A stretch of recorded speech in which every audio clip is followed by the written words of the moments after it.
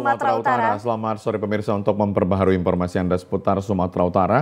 Sumatera Utara hari ini hadir kembali menjumpai Anda edisi Selasa 12 Maret 2024 kali ini bersama saya Karyawan Sembiring. Dan saya Nisa Redi. Sejumlah informasi aktual seputar Sumatera Utara telah dirangkum oleh tim redaksi kami untuk Anda. Dan mari kita awal informasi selengkapnya.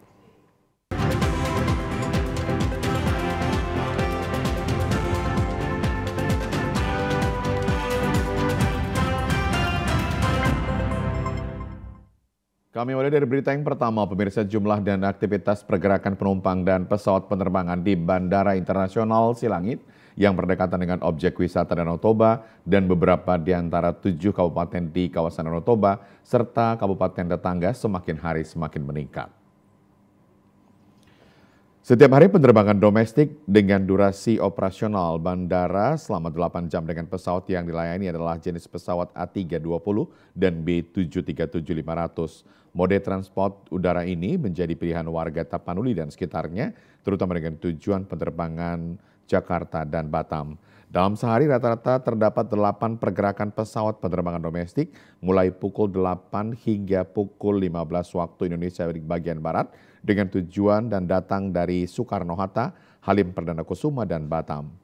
Semenjak dicanangkan Presiden dari Bandara Perintis menjadi bandara komersial tahun 2016 yang lalu, hingga saat ini perkembangan Bandara Silangit memang sangat pesat, di mana untuk tahun 2023 dibanding dengan 2022 naik sebesar 16 persen.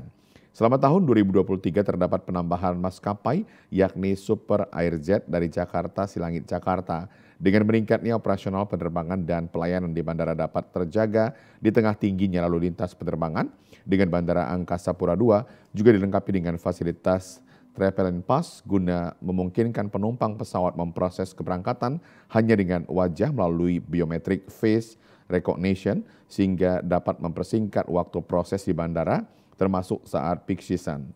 General Manager Bandara Silangit Ardon Marbun mengatakan terkait perkembangan atau pembukaan kembali penerbangan internasional sampai saat ini belum ada informasi untuk dibuka seiring dengan adanya regulasi baru pembahasan entry point untuk Indonesia telah ditetapkan hanya akan dilayani oleh delapan airport untuk keseluruhan Indonesia dan Silangit tidak termasuk di dalamnya. Bandara Silangit ini diharapkan dapat meningkatkan kunjungan wisatawan ke kawasan Danau Toba dan secara tidak langsung akan meningkatkan ekonomi di kawasan Danau Toba, khususnya Tarutung.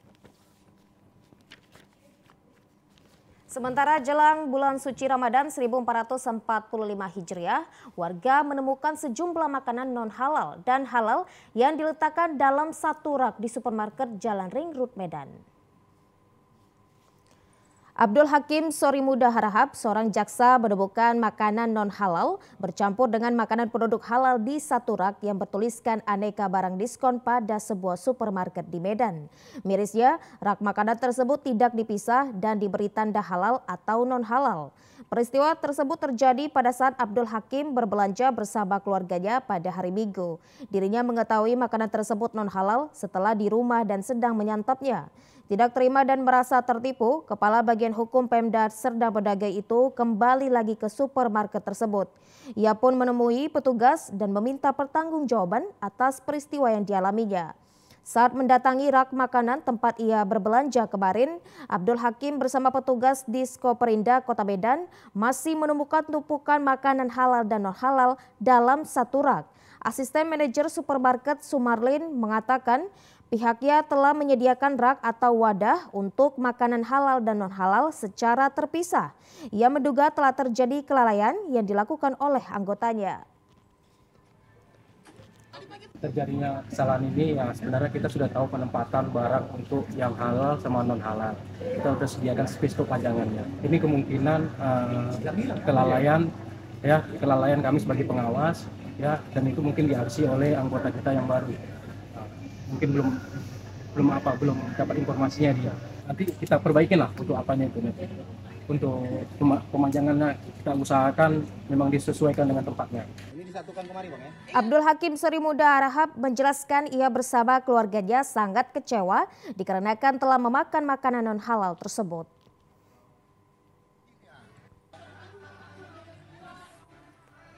Dibukanya lah ini, ada itu, itu kan ada barangnya kan? Satu jumlah kau dibukanya lah makannya. Pandai juga, aku katen juga. Habis ini barang, aku makan. Tiba-tiba istri gue nyemek. Kenapa nggak gue bilang? Aku tengok, apa? Curiga aku expired. Kenapa mak bilang? Apa tengok lah katanya. Lu jangan buka kamar, kacamata. Aku buka, nggak ada expired. Aku tengok kamar mandi. La ilaha illallah. Muntah harus dari jarinya di TV. Inilah dia, barangnya. Saat ini warga yang merasa dirugikan tersebut telah mengembalikan produk non-halal itu dan pihak supermarket akan bertanggung jawab atas kelalaian, kelalaian yang dilakukan oleh pegawainya. Kita ke informasi lain, pemirsa harga beberapa komoditas bahan pangan di pasar tradisional Lago Boti, Kabupaten Toba jelang Ramadan mulai merangkak naik. Terpantau kenaikan cukup signifikan terjadi pada cabai merah, telur ayam, gula pasir, minyak goreng. Kenaikan harga cabai seperti cabai merah mencapai Rp65.000 dari harga sebelumnya yang hanya Rp45.000 per kilogram. Telur ayam ras Rp52.000 kini menjadi Rp58.000 per papannya. Pedagang sembako di pasar tradisional Lagu Boti Morin Lubis mengaku kenaikan harga telur ayam ras, gula pasir dan minyak terjadi sejak pekan lalu secara bertahap. Untuk minyak goreng Rp18.000 dari harga Rp16.000 per kilogramnya. Kenaikan harga tersebut sama dengan harga gula pasir. Untuk minyak goreng selain mengalami kenaikan harga, barang langka didapatkan para pedagang. Morin mengatakan jelang Ramadan ini harga kebutuhan pokok mengalami kenaikan, sementara pembeli juga sepi. Selain beberapa kebutuhan pokok mengalami kenaikan harga komoditas lainnya seperti bawang merah, cabai rawit, cabai keriting, sayur-sayuran masih stabil. Morin juga mengatakan Akibat dari kenaikan harga komoditas di pasar tradisional Lago Boti, para pembeli saat ini mengurangi pembelanjaannya dikarenakan daya beli masyarakat berkurang. Selain itu, penjualan pun saat ini jauh berkurang, di mana sebelumnya omset penjualan per minggu mencapai 15 sampai 20 juta rupiah, namun kini omsetnya berkurang menjadi 13 juta rupiah. Morin berharap kepada pemerintah agar dapat memantau harga pasar dan dapat menstabilkan harga khususnya menjelang bulan Ramadan. Uh, untuk gula pasir sendiri? Stabil, stabil. Yang paling signifikan uh, telur ayam Pak ya? Telur ayam, ya telur lah telur. Telur ayam sama minyak. Saat kenaikan ini Pak, gimana daya beli masyarakat gimana Pak? Uh, Jelas dong udah kurang ini, belum tuh kurang lah. Namanya kan inflasi udah kurang itu. Omsetnya gimana Pak kira-kira? Jauh Udah turun lah, udah pasti turun bang. Pastilah. Itu yang biasa kita jualan omset eh, 15-20, ini 13 lah. Selain itu, pemirsa sejumlah harga kebutuhan pokok di pasar tradisional Kelurahan Leidong, Kecamatan Kualu Leidong, Kabupaten Labuhan Batu Utara masih tinggi. Suasana pasar terlihat sepi dari para pembeli. Beginilah suasana pasar tradisional Kelurahan Leidong satu hari jelang memasuki bulan puasa Ramadan. Dibandingkan dengan tahun lalu, terlihat suasana pasar sepi dari pembeli. Hal ini dikarenakan harga sejumlah kebutuhan bahan pokok beberapa bulan belakangan ini naik seperti harga beras sebesar Rp16.000 per kilogram, harga gula pasir Rp18.000 per kilogramnya, minyak makan Rp16.000 per kilogram, serta sejumlah bahan pokok lainnya hingga menurunnya daya beli masyarakat. Salah seorang pedagang ayam, Safia, mengatakan bahwa harga daging ayam potong naik dari harga Rp35.000 sekarang Rp40.000 per kilogramnya.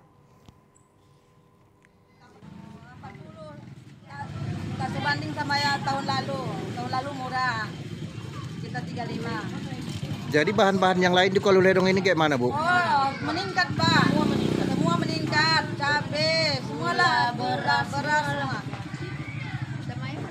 Kalau harapan kami ya stabilkanlah harga itu semua. Pedagang sayuran Mamak Samuel menjelaskan bahwa saat ini harga cabai merah masih bertahan di harga Rp80.000 per kilogramnya.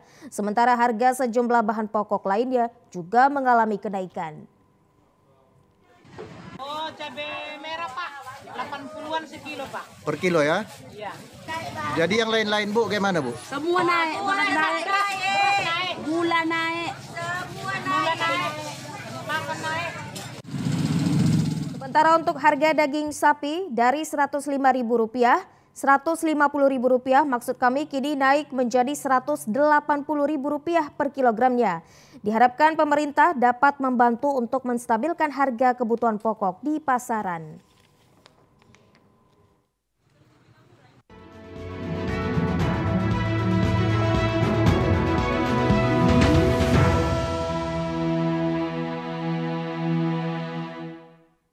Pemirsa Aliansi Rakyat Permahati Peduli Pemilu Sumatera Utara mendatangi lokasi rekapitulasi KPU Medan dan menolak hasil rekapitulasi yang sempat terlibat saling dorong serta adu mulut dengan petugas kepolisian.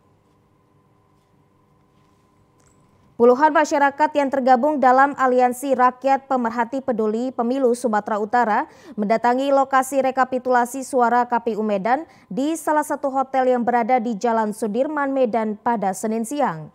Berdasarkan rekomendasi dari Bawaslu Kota Medan, harus dilakukan penghitungan suara di Kecamatan Medan Timur karena ditemukan adanya dugaan penggelembungan suara dari salah satu partai. Menurut masa aksi, KPU Kota Medan tidak mengindahkan rekomendasi dari Bawaslu dan tetap melanjutkan rekapitulasi yang dinilai merugikan calon anggota legislatif serta partai politik peserta pemilu. Dalam menyampaikan tuntutannya, masa aksi sempat terlibat adu mulut dan saling dorong dengan petugas kepolisian yang berjaga di pintu masuk lokasi. Sebelumnya sejumlah keributan juga terjadi di lokasi rekapitulasi ini karena keseluruhan masalahnya hampir sama adanya penggelembungan suara yang diduga sengaja diberikan kepada caleg atau partai lain untuk memenangkan dirinya. Surya Darmawan selaku koordinator aksi mengatakan pihaknya hanya ingin meminta kepada KPU Medan agar bekerja dengan baik dan jujur dan tidak menciderai pemilu yang telah dilaksanakan kita menilai ada beberapa kecurangan yang terjadi pada proses pemilu ini. Seperti peralihan suara dari satu partai ke partai lain. Di Kecamatan Medan Timur misalnya, ada peralihan suara dari Partai Kebangkitan Nusantara dan Partai Buruh untuk Partai Kebangkitan Bangsa. Sehingga di sana Partai Kebangkitan Bangsa menggelembung suaranya dan akhirnya mendapatkan kursi. Jadi rekomendasi Bawaslu ini meminta agar KPU memperbaiki penghitungan ulang kalau bahasa awamnya kan begitu. Tapi ini tidak diindahkan oleh KPU Kota Medan. Ini tentu menjadi pertanyaan besar bagi kami sehingga kami datang kemari. Sementara itu pemirsa Komisi Pemilihan Umum Provinsi Sumatera Utara memperpanjang waktu rekapitulasi penghitungan suara pemilu 2024 karena adanya permintaan perpanjangan waktu untuk menyinkronkan data dari KPU tiga kabupaten kota yakni Kota Medan, Kabupaten Deli Serdang, dan Kabupaten Nia Selatan.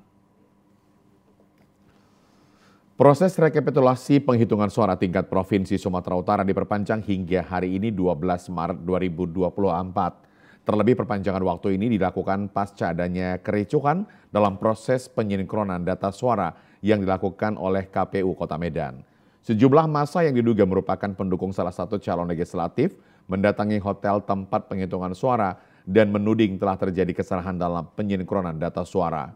Ketua KPU Sumut Agus Haripin mengatakan perpanjangan waktu penghitungan suara ini dilakukan hanya karena menunggu data sinkronkan, disinkronisasi agar meminimalisir terjadinya kesalahan dan kekeliruan dalam penyinkronan data suara.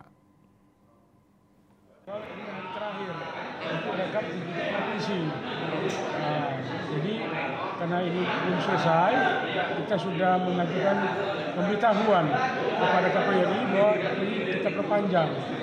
Eh, kita rencananya eh, diselesaikan di tanggal 12 Maret untuk yang tiga kabupaten kota, di Selatan, Kabupaten Medan dan Kabupaten Sedang.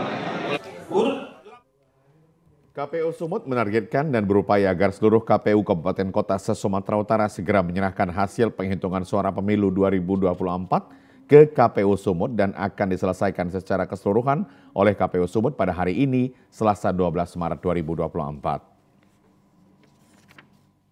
Rapat pleno rekapitulasi hasil penghitungan suara dan pembacaan 50 calon legislatif hasil pemilu 2024 di tingkat Kabupaten Deli Serdang digelar kemarin selama dua hari di Hotel De Prima Jalan Arteri Sultan Serdang, Kecamatan Batangkuis, Kabupaten Deli Serdang. Rapat pleno rekapitulasi hasil penghitungan suara dipimpin Ketua KPU Deli Serdang, dihadiri saksi dari partai politik dan Bawaslu Deli Serdang. Ketua KPUD Deli Serdang Syahrial Effendi mengatakan Partai Gerindra meraih suara untuk calon legislatif atau caleg DPRD Kabupaten Deli Serdang pada pemilu 2024 sebanyak 148.701 suara di enam daerah pemilihan. Partai Demokrasi Indonesia Perjuangan atau PDIP dengan memperoleh 139.011 suara, Partai Nasdem 115.919 suara, dan Partai Golkar 111.997 suara. Dengan perolehan itu, empat partai yang unggul di Deli Serdang akan memperoleh masing-masing tujuh kursi. Dengan hasil perolehan suara itu, nama-nama yang bakal akan duduk mengisi kursi legislatif di DPRD Deli Serdang yakni Dapil 1 dengan jumlah 8 kursi, Dapil 2 dengan 8 kursi, Dapil 3 dengan 7 kursi, Dapil 4 dengan jumlah 9 kursi, dan Dapil 5 dengan jumlah 6 kursi, sedangkan untuk Dapil 6 dengan jumlah 12 kursi. Kita juga melakukan sinkronisasi sebelum kita melakukan finalisasi dan kita uh, cetak untuk ditandatangani oleh seluruh saksi. Dan proses itu juga memakan waktu yang cukup lama karena banyak lembaran yang harus kita print untuk disandingkan dan juga penandatanganan oleh seluruh saksi uh, dan kita dari KPU itu yang saya pikir dari tadi malam uh, sampai pagi ini kita baru selesai uh, mencetak terus membagikan serta membacakan surat ketetapan pusat terkait hasil rekapitulasi uh, penetapan hasil DPRD Kabupaten Deli Serdang. KPU Deli Serdang masih menunggu adanya gugutan sengketa hasil pemilu di Mahkamah Konstitusi terkait perolehan suara tersebut. Apabila tidak ada lagi sengketa, maka KPU Deli Serdang selanjutnya akan menetapkan caleg terpilih untuk duduk menjadi anggota DPRD Deli Serdang periode 2024-2029. Pemirsa berikut kami hadirkan informasi serba-serbi Ramadan dari Sumatera Utara. Tetaplah bersama kami.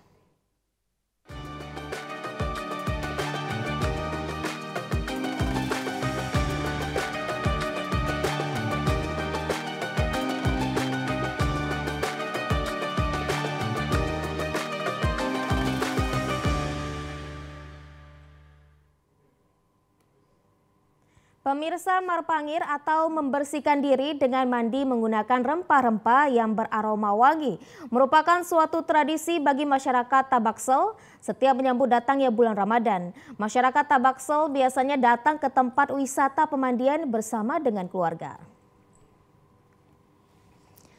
Bagi masyarakat Tabaksel, suatu tradisi atau kebiasaan setiap menyambut datangnya bulan Ramadan melakukan kegiatan marpangir. Tradisi marpangir merupakan tradisi turun-temurun sejak zaman dahulu, bertujuan untuk membersihkan diri. Pangir yang digunakan untuk mandi dahulu biasanya dibuat dari berbagai jenis rempah-rempah serta dedaunan yang beraroma wangi serta juga jeruk purut yang diiris kecil-kecil dan dijemur, kemudian direbus yang kemudian digunakan untuk mandi. Salah satu warga Rijal Effendi sengaja datang bersama dengan keluarga ke wisata pemandian Siraisan untuk mandi Marpangir.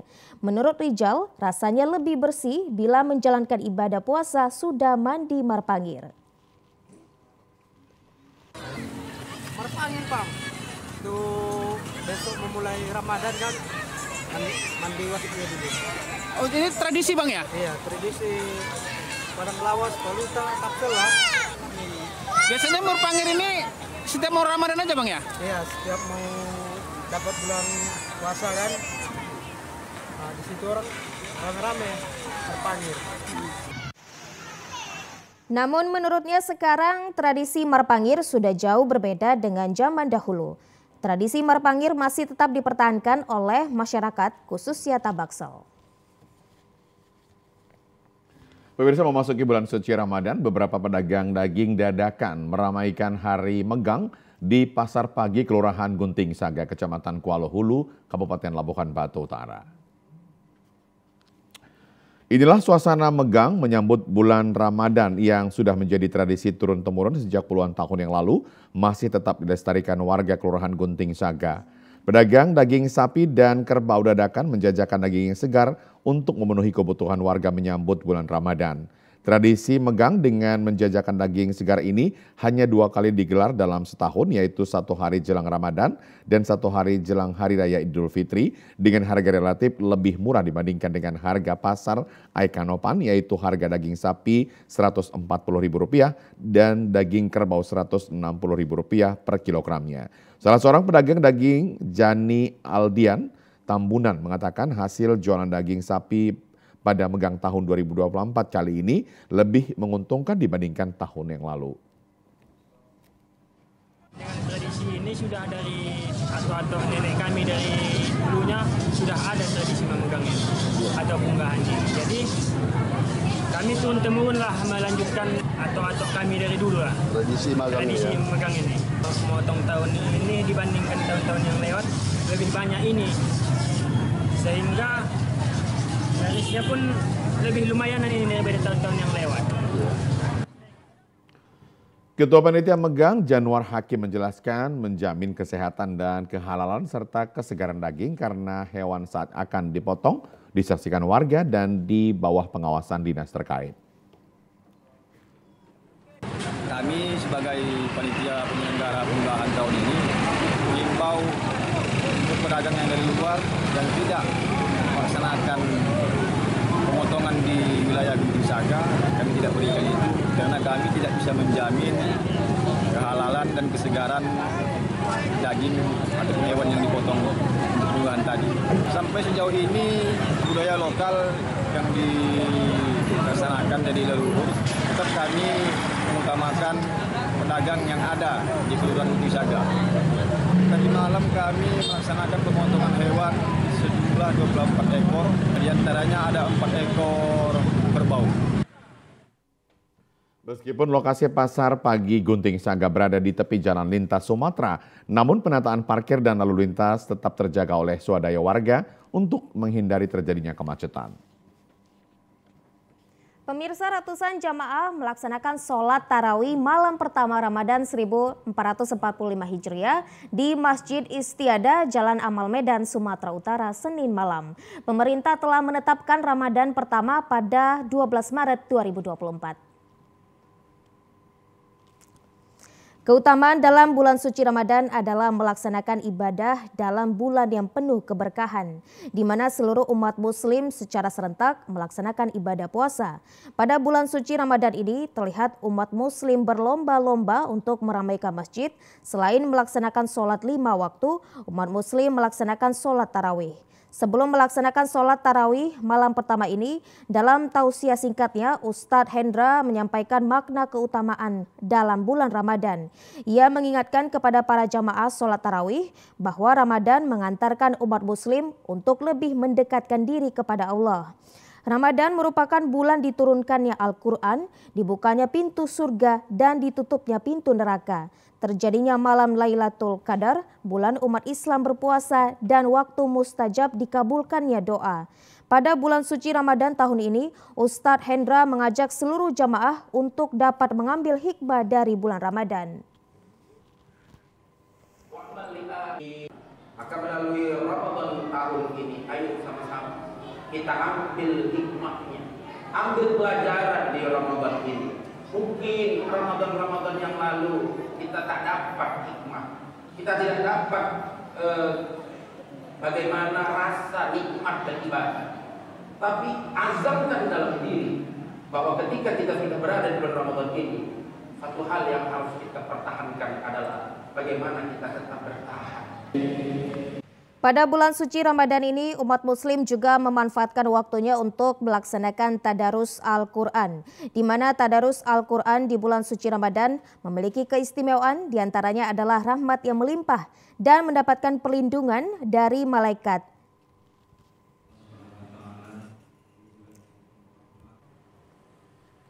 Pemirsa ratusan umat muslim di Kaban Jahe antusias melaksanakan sholat taraweh perdana Ramadan 1445 Hijriah di Masjid Agung Kabupaten Karo. Setelah pemerintah resmi menetapkan awal Ramadan 1445 Hijriah jatuh pada Selasa 12 Maret 2024, umat muslim di Kabanjahe memadati Masjid Agung Kabupaten Karo untuk menunaikan sholat tarawih berjemaah. Ratusan umat muslim dan muslimat baik orang tua remaja hingga anak-anak tampak ramai dan antusias memenuhi lantai satu Masjid Agung Karo. Jemaah menjalankan ibadah dengan husuk diawali sholat isya berjamaah terlebih dahulu dan Ketua Panitia Ramadan Syahdan Surbakti dalam sambutannya menyampaikan hal yang terkait dengan agenda di Masjid Agung seperti kajian rutin, kultum subuh dan menjelang berbuka puasa hingga tadarus. Selain itu, tausiah sebelum taraweh disampaikan oleh Ustadz Azrai Sinaga tentang keutamaan sholat taraweh 10 malam pertama di bulan Ramadan yaitu pengampunan dosa orang mukmin yang melakukan sholat taraweh seperti bayi yang baru dilahirkan dan manfaat puasa Ramadan. Begitu juga malam ini para ibu-ibu dan anak-anak antusias pada malam terakhir pertama ini sangat penuh masjid ini. Sangat banyak sampai di balkon dan di bawah pun tak muat. InsyaAllah malam besok sampai di bawah solat. Begitu banyak yang solat terawih di uh, masjid uh, Kabanjahe Kabupaten Karo ini. InsyaAllah umat Islam Tanah Karo ini tambah berkembang dan tambah banyak. Alhamdulillah kami Tanah Karo ini akur, damai, dan tentram bersama antara umat beragama. Selama Ramadan, BKM Masjid Agung Karo menyediakan takjil untuk masyarakat yang berbuka bersama di masjid. Selain itu juga menerima donatur untuk pemberian takjil. Di sisi lain, pemirsa warga Kota Medan, Sumatera Utara memadati Masjid Raya Al-Masyun yang terletak di kawasan Jalan Sisingamangaraja, Kota Medan. Masjid yang menjadi ikon Kota Medan ini memang kerap menjadi tujuan tarawih perdana bagi warga Medan sebab selain mengandung nilai sejarah, letaknya di tengah kota memudahkan akses warga. Masjid Raya Al-Masyun dipadati jamaah umat muslim kota Medan yang melaksanakan ibadah sholat tarawih perdana di bulan Ramadan 1445 Hijriah kali ini.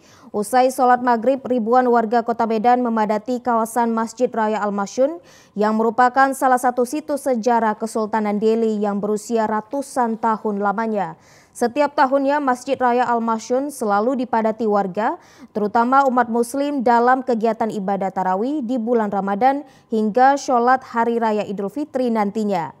Pengurus BKM Masjid Raya Al-Masyun, Muhammad Hamdadi mengatakan untuk ibadah sholat tarawih perdana tahun ini, pihak pengurus telah menyiapkan stok sajadah untuk mengantisipasi jika jamaah membludak. Namun pada ibadah sholat tarawih perdana kali ini, jamaah masih dapat tertampung dalam Masjid Raya Al-Masyun. Ya, malam ini kita uh, malam tarawih pertama sesuai apa uh, arahan pemerintah yang mana diumumkan oleh Menteri Agama. Uh, kita akan puasa pada tanggal 12 itu awal puasanya. Kalau kapasitas mesin ini bisa menampung lebih kurang 2000 baik itu ruangan utama dan bagian teras masjid. Nah kalau sudah sampai di bawah nanti tentu lebih. Ibadah sholat tarawih di Masjid Raya Al-Masyun dilakukan dengan 20 rakaat tarawih dan 3 witir setelah sholat isya. Selain itu Masjid Raya Al-Masyun juga setiap bulan Ramadan selalu menyediakan bubur sup khas Melayu untuk dibagikan kepada warga kota Medan saat waktu berbuka puasa.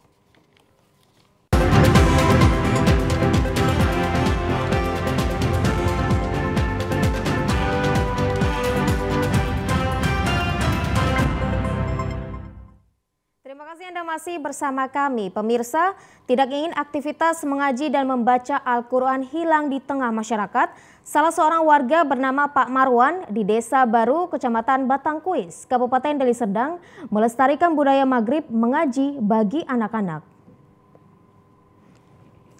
Kegiatan belajar maghrib mengaji ini digelar di kediaman Pak Marwan yang sudah berlangsung lebih dari dua tahun lamanya. Kegiatan maghrib mengaji ini diawali dari sejumlah anak-anak di seputaran lingkungan rumah Pak Marwan. Namun seiring waktu semakin banyak anak-anak yang berminat untuk ikut mengaji, belajar mengaji dan hingga saat ini sudah sebanyak 70 orang anak-anak. Karena antusiasnya anak-anak yang ingin belajar mengaji, sementara rumah Pak Marwan tidak cukup untuk menampung seluruh anak-anak, maka belajar mengaji dibagi menjadi dua gelombang. Untuk gelombang pertama digelar setelah sholat asar dan gelombang kedua setelah sholat maghrib. Tidak hanya mengaji yang diajarkan, namun juga diajarkan bagaimana cara melakukan ibadah sholat. Anak-anak yang belajar mengaji tidak dipungut biaya dan pemerintah desa baru ada memberi bantuan satu bulannya seratus ribu rupiah, namun diberikan satu tahun sekali. Maghrib mengaji ini dibagi dua gelombang karena antusias anak-anak untuk belajar mengaji sangat besar kurang lebih sekitar 70 orang. Ya Alhamdulillah binaan maghrib mengaji ini kurang lebih dua tahun ini tidak pernah kita pungut biaya. Untuk santri maghrib mengaji ini ada tiga desa. Ya terkhusus desa baru ada di Empatan Ibung dan ada dari Tanjung Sari. Ya Alhamdulillah kalau dari desa baru tahun kemarin tahun 2003 uh, program dari desa kemarin kan per bulannya 100 ribu. Diharapkan anak-anak yang belajar mengaji mendapatkan ilmu yang bermanfaat dan bisa menjadi anak yang soleh dan soleha serta dapat membanggakan kedua orang tuanya. Memasuki bulan suci Ramadan, pemesanan buah kurma sebagai salah satu menu berbuka puasa mengalami peningkatan dan harga yang dijual oleh pedagang cukup bervariasi sesuai dengan kualitas buahnya. Pusat jajanan buah kurma di Pasar Ikan Lama Kota Medan tampak dipadati warga. Pembeli yang tidak hanya berasal dari kota Medan saja, namun ada juga dari luar kota Medan untuk memesan buah kurma sebagai penganan menu berbuka puasa. Beragam jenis buah kurma dijual dengan pedagang Eh, dengan harga yang cukup bervariasi maksud kami sehingga pembeli dapat memesan sesuai dengan selera. Untuk harga kurma dijual pedagang mulai dari Rp25.000 hingga Rp300.000 per kilogramnya berasal dari kota Madinah dan Palestina. Salah seorang pedagang Abu Bakar Zain Umar Zubaidi mengaku pasokan buah kurma mencukupi dan minat masyarakat kebutuhan buah kurma tahun ini mengalami peningkatan dengan harga terjangkau serta tidak mengalami kenaikan. peningkatan ada. Masalah harga nggak ada naik. Itu harga sendiri dari harga termurah? Yang termurah harganya 25.000 per kilo sampai 300.000 per kilo. Asal kurmanya? Asal kurmanya Madinah, Mejol, Palestina, Madinah lagi, Madinah lagi, uh, hampir rata Madinah. Pasukan sendiri cukup? Kalau tahun ini saya rasa cukup. Salah seorang pembeli Poniman mengatakan buah kurma menjadi kebutuhan bagi dirinya bersama keluarga di saat bulan puasa. Selain sunnah rasul, bila dikonsumsi juga sebagai penambah tenaga dan penyegar tubuh. Kan kebutuhannya setiap setiap mau berpuasa ya. Setiap puasa ya kita biasanya ya kita eh, apa namanya kita konsumsi lah gitu. Setiap berbuka atau apa gitu kan kalau saya biasanya itu saya rendam pakai air panas, saya minum, kan gitu.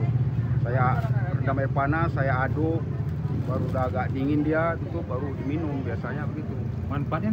Ya untuk manfaatnya biasanya ya untuk badan enak, kesehatan badan lah, untuk kesegaran badan kebutuhannya itu. Badan uh, sehat, segar. badan sehat, segar lah untuk man, banyaklah manfaatnya tentu untuk kesehatan kan gitu. Selain buah kurma, masyarakat juga dapat membeli kebutuhan lainnya di bulan Ramadan di Pasar Ikan Lama Kota Medan dengan harga yang cukup terjangkau. Sementara dalam menyambut bulan suci Ramadan, pemirsa sejumlah wartawan di Kabupaten Mandaling Natal gelar donor darah massal serta santuni puluhan anak yatim dan kaum duafa. Sebagai wujud syukur menyambut bulan suci Ramadan, sejumlah wartawan yang tergabung dalam Serikat Media Cyber Indonesia atau SMSI menggelar donor darah di kantor Palang Merah Indonesia di Kelurahan Kayu Jati, Panyabungan. Puluhan wartawan antri untuk mendonorkan darah secara sukarela Donor darah ini dilakukan untuk menjaga kesehatan selama melaksanakan bulan suci Ramadan. Selain menggelar donor darah, puluhan wartawan ini juga menyantuni sejumlah anak yatim serta kaum duafa di kota Panyabungan. Bantuan yang diserahkan ini berupa beras, uang tunai, sajadah, dan Al-Quran. Diharapkan bantuan ini dapat meringankan beban para anak yatim dan kaum duafa selama bulan Ramadan. Kegiatan bakti sosial ini juga merupakan kegiatan rutinitas SMSI sekaligus perayaan hari ulang tahun SMSI. Uh, seluruh salah serentak SMSI seluruh Indonesia mengadakan aksi sosial yaitu dengan mendonorkan darah setiap anggotanya ke Parlemen Indonesia untuk disumbangkan kepada warga yang membutuhkan. Uh, untuk itu kami dari SMSI Madinah mengucapkan terima kasih kepada PMI, PMI Madinah yang telah membantu kita untuk uh, men, uh, mengambil atau mentransfusi darah kita. Terima kasih. Penyerahan santunan kepada anak yatim ini juga merupakan apresiasi dan inisiatif para wartawan untuk saling berbagi di bulan suci Ramadan. Pemirsa menikmati aneka makanan siput segar di restoran terapung yang berada di Percut Setuan memiliki kenikmatan tersendiri. Pasalnya setiap pengunjung bisa langsung memilih jenis ikan yang akan dikonsumsi. Para penikmat kuliner yang datang ke kawasan Percut Setuan Deli Serdang akan menjumpai tempat pelelangan ikan yang menawarkan aneka jenis ikan, udang, kepiting, dan kerang. Setelah memilih aneka seafood yang hendak dikonsumsi, para pengunjung akan dihantarkan ke restoran terapung menggunakan kapal kayu. Dan hal ini menjadi penambah keseruan berkunjung menikmati kuliner aneka ikan segar di restoran terapung Percut. Pemilik restoran akan menawarkan jasa pengolahan kepada pengunjung dengan tarif yang sangat murah setiap kilogramnya. Menunggu makanan yang sedang diolah oleh pihak pengelola restoran terapung, para pengunjung dapat memesan aneka minuman segar, mulai dari jus dan aneka minuman lainnya. Setelah makanan selesai dimasak, para petugas langsung mengidang, mengidangkan di meja pengunjung dan siap untuk dikonsumsi. Hembusan angin laut membuat setiap pengunjung lebih dapat menikmati nikmatnya aneka hidangan yang tersedia. Restoran terapung ini biasanya ramai dikunjungi oleh penikmat aneka ikan segar pada weekend dan pada umumnya yang datang secara berkelompok. Salah seorang pengelola Rining Sih mengaku restoran terapung jelang Ramadan mengalami penurunan jumlah pengunjung. Meski demikian pihak pengelola optimis usai Ramadan jumlah pengunjung akan kembali normal. Sebagai pedagang yang berada di Percut berharap agar pihak terkait mendukung keberadaan pelaku UMKM yang ada di kawasan Percut sehingga menjadi salah satu destinasi kuliner aneka ikan segar di kawasan Deli Serdang. Kalau kuliner agak sepi lah. Tapi biasanya rame ya? biasanya rame. Dan kalau rame lagi ini biasanya kapan ya? Ya, rame lagi kapan? Uh, nanti lah waktu lebaran sebulan ini agak sepi lah. Oke. Okay. Menjelang lebaran lah nanti. Kalau tidak tidak menjelang Ramadan itu biasanya pendapatannya berapa per hari? Kalau sekarang ini agak merosot lah pendapatan daripada tahun-tahun yang ini. Semenjak Covid Selama bulan Ramadan, lokasi ini biasanya akan ramai dikunjungi pada sore hari sebagai tempat berbuka puasa bersama sahabat dan keluarga. Pemirsa, pendidikan adalah investasi jangka panjang yang membutuhkan biaya yang tidak sedikit. Dalam perjalanannya, berburu beasiswa adalah cara terbaik untuk merealisasikan cita-cita yang diimpikan. Berburu beasiswa, banyak orang yang sangat ingin mendapatkannya, tetapi masih menunda-nunda, menyerah sebelum memulai dengan bermacam-macam alasan. Alasan tersebut biasanya antara lain karena syarat beasiswa yang rumit, namun apa pun alasan seseorang, kita harus menyadari bahwa cita-cita dapat terwujud dari satu hal sederhana, yaitu keputusan untuk memulainya. Sejak tahun 2012, pemerintah melalui Direktorat Jenderal Pendidikan Tinggi Kementerian Pendidikan dan Kebudayaan berupaya mengalokasikan dana untuk memberikan bantuan biaya pendidikan kepada mahasiswa yang tidak mampu dan berprestasi. Program bantuan ini dilaksanakan sesuai prinsip 3T, yaitu tepat sasaran, tepat jumlah, dan tepat waktu. Salah satu perguruan tinggi yang menawarkan berbagai program beasiswa untuk mahasiswa adalah Universitas Negeri Medan. Dengan adanya beasiswa Unimed tentu membawa banyak manfaat bagi calon mahasiswa yang membutuhkan. Pemirsa berikut informasi perakiraan cuaca di sejumlah daerah di Sumatera Utara dari Badan Meteorologi, Klimatologi, dan Geofisika wilayah 1 Medan berlaku pada hari Rabu 13 Maret 2024 berikut ini. Halo Sobat BMKG, kembali lagi bersama saya Ari Prasetyo, Prakirawan Balai Besar MKG Wilayah 1 yang akan menyampaikan informasi perakiraan cuaca dan hotspot untuk Rabu 13 Maret 2024. Untuk pagi hari, cerah berawan di wilayah Sumatera Utara, siang hingga sore hari berpotensi hujan ringan di beberapa wilayah Sumatera Utara, dengan hujan ringan berpotensi terjadi di Dairi, Pakpak Barat, Samosir, Sibolga, Tapanuli Tengah, Tapanuli Selatan, Padang Lawas, Labuan Batu, Labuan Batu Selatan, Padang Sidempuan, Mandeling Natal, dan sekitarnya. Untuk malam hari berpotensi hujan, ringan hingga lebat di sebagian wilayah Sumatera Utara, dengan potensi hujan lebat terjadi di Tapanuli Tengah, Sibolga, Padang Lawas, dan sekitarnya. Untuk dini hari, cerah berawan di wilayah Sumatera Utara dengan suhu udara 16 hingga 31 derajat Celcius, kelembapan udara 65 hingga 95 persen dengan angin bertiup dari barat laut hingga timur dan kecepatan 10 hingga 30 km per jam.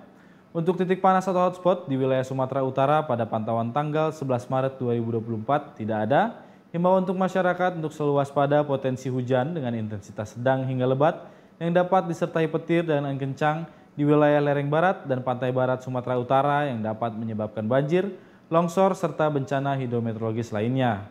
Sekian perakiraan Rabu 13 Maret 2024. Terima kasih dan sampai jumpa. Pemirsa informasi tadi mengakhiri Sumatera Utara hari ini mewakili seluruh kerabat kerja yang bertugas. Saya Keriawan Sbiri. Dan saya Nisa Redi mengucapkan terima kasih atas perhatian dan juga kebersamaan Anda. Dan kami juga mengucapkan selamat menunaikan ibadah puasa bagi Anda yang menjalankannya. Selamat sore dan sampai, sampai jumpa. jumpa.